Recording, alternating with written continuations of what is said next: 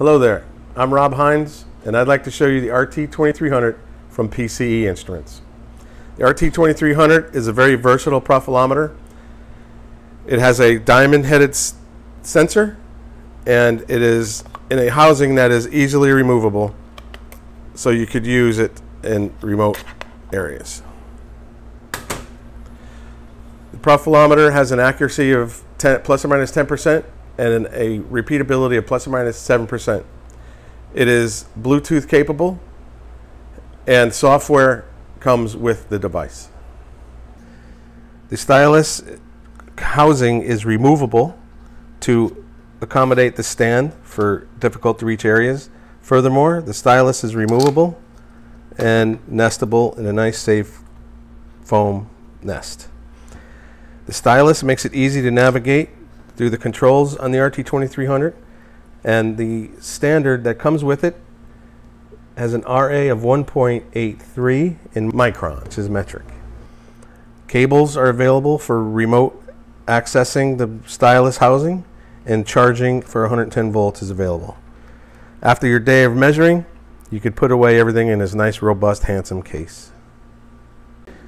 So this is the RT2300 from PCE, and I'm here to demonstrate the setup to the standard that comes with the kit. This particular standard has an RA of 1.83 micron, which is the metric version of the RA. So I'm going to navigate to the calibration screen with the stylus that comes with it, calibration measurement. So what we can do is change whatever standard we have. As I said, it's 1.83. So if it was a different one, we'd navigate to a different value. But we're at 1.83. So we're going to tell the RT2300 what 1.83 micron is. So we're going to start and it's going to reference this standard and as you can see the profile of the measurement is right there. It's calibrating, it's already dragged across the area. So once it calibrates this area we're going to start uh, save and exit going to save that data and exit out. And now the next scene we're going to see is to return to the home page, we're going to take an actual measurement. Simply press start. Very similar profile as you can see. And when it's done measuring, it's the exact same application that we calibrated, so it should be very, very close.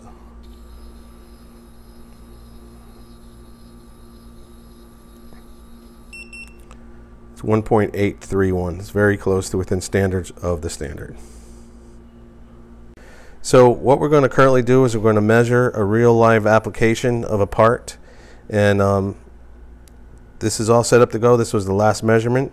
So what we're going to do is measure this part over here and as you can see the, utilizing the stand that comes with the device it makes it real, reasonably easy to get to awkward style parts. So simply going to start the test and as you can see it'll drag across the part and that's the actual data being taken. Once it finishes it's going to push back and it's calculating the roughness right now and it'll display it on the console when it's done. This has a RA of 0.049 micron. You can see the profile of the test. Thanks for watching my video. If you have any questions, send us an email or give us a call.